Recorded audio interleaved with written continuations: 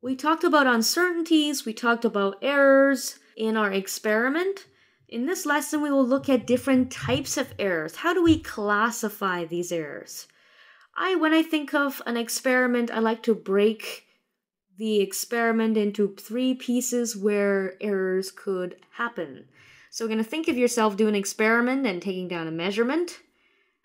We have yourself, okay? You have a you have a device that is going to measure something and you have your apparatus which is what you're trying to measure.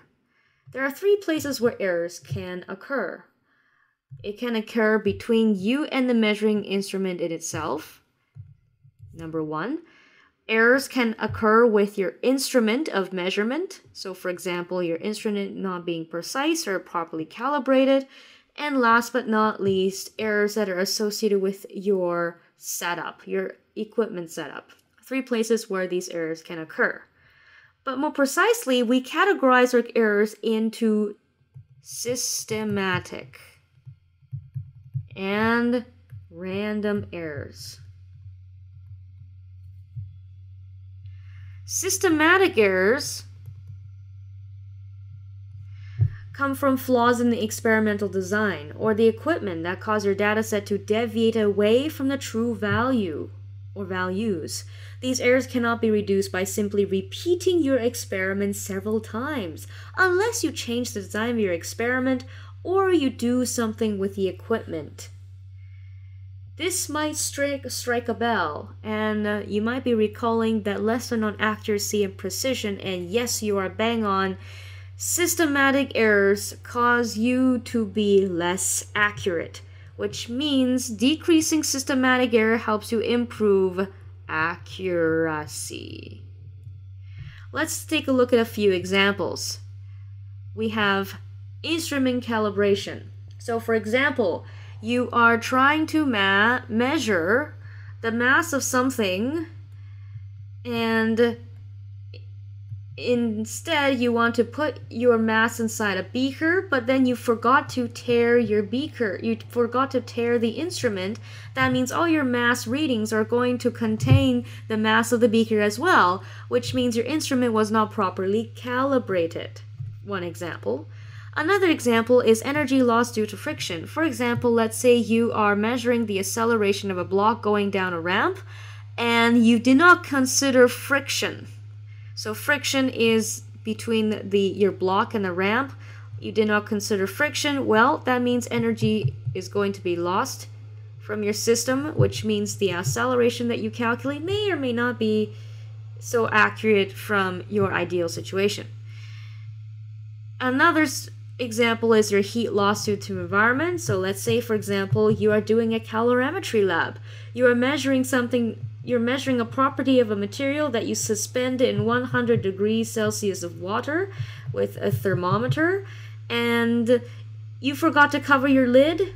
Well, that'd be poor that would be poor experimental experimental design, but let's say your lid was faulty or your equipment was not very well chosen, you have this heat loss which means not all of this heat is going to transfer into your material, causing there to be a discrepancy in your results. These errors will decrease the accuracy of your results in your in your lab. What about random errors? Random errors have to do with statistical fluctuations. They have to do with things that are quite outside of our control think of when you're collecting data, you get this random distribution of data. Some of the times they follow a pattern called a normal distribution, so something that kind of looks like this. So think of the middle as all your is your average, and then all of these are the fluctuation in your data. Of course, more of your data going are going to align in the middle, but some of them are going to deviate away.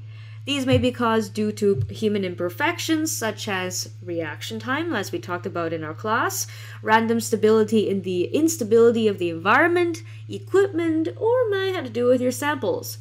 The random error can be reduced by repeating your experiments, and this is what we talked about in our lab when you did four repetitions for every single piece of data. And to make it even better, you timed it for 10 oscillations instead of just for the one.